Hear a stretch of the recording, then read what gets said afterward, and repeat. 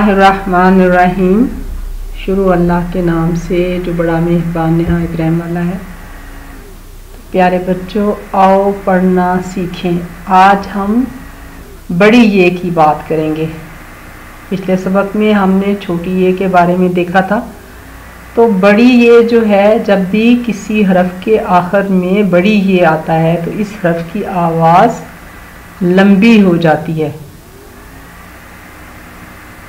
मसलन हम इस ये है बाजे। तो बाजे के आखिर में ये आ रही है तो बाजे। जब ये दरमियान में आता है तो इसकी आवाज़ कुछ यूँ हो जाती है जैसे कुछ मिसालों के ज़रिए इसकी आ, समझने की कोशिश करते हैं। ये आपके सामने क्या है? ये है तेल।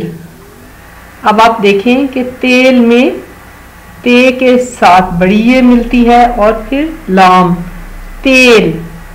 तो ते, ये, लाम, तेल तो जब बीच में बड़ी ये आती है तो ये इसके नीचे दो नुक्ते लगते हैं। तो इसको हम मिला के इस तरह से लिखते हैं, तेल। तेल देखो, तेल की धार देखो, ये कहावत है, ऐसे मौक़ों पर इस्तेमाल की जाती है। जब हम किसी से ये कहना चाहें कि अभी जल्दी मत करो, तेल देखो, तेल की धार देखो। ये क्या है? ये नंबर है एक। अब आप देखें कि एक में भी अलिफ के बाद बड़ी ये आती है और फिर काफ। एक। और ये है एक। जब ये की बीच में आती है तो दो नुक्ते नीचे लगते हैं, ये आदि शक्ल है, एक और ये लफ्ज बन गया, एक। तो कुल्लु अल्लाह अहद, अल्लाह एक है।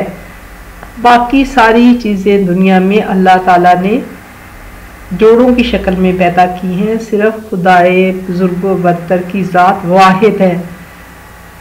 कुरान मजीद में सूरह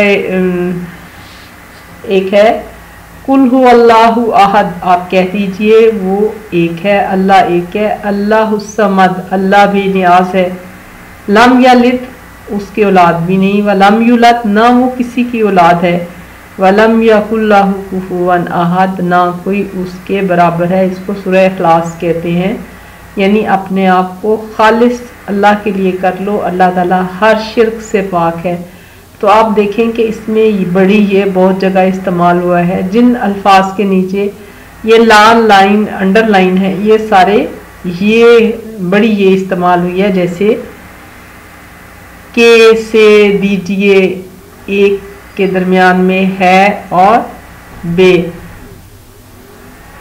आप इसकी लिखने की प्रैक्टिस कीजिए, सुरह अखलास के तर्जुमे को दोबारा से पढ़ें। और ये क्या है? इसीलिए अल्लाह के सिवा कोई मबूद नहीं, हमारा कलमा जो है, ला इलाहा इल्लल्लाह। यानी हम इस बात का इकरार करते हैं कि अल्लाह एक है और वो ना किसी को, कोई उसकी औलाद है, ना उसके बीवी बच्चे हैं। और ये क्या है? मट्टी का ढेर। तो आप देखें, ढेर में भी ढे, बड़ी, ये और रे। ढेर। तो ढेर को जब आदि शक्ल में लिखेंगे तो ये के नीचे दो नुक्ते लग जाएँगे। और इसके बाद ये है, लफ्ज जब लिखेंगे तो ये आ जाएगा ढेर। किसी ने कभी कुछ भी तो मेरे नाम नहीं लिखा हाँ मगर एक दिन दो लाइनों पर मुश्तमिल कोई शेर होगा, तख्ती लगी होगी मेरे नाम की, और मट्टी का ढेर होगा।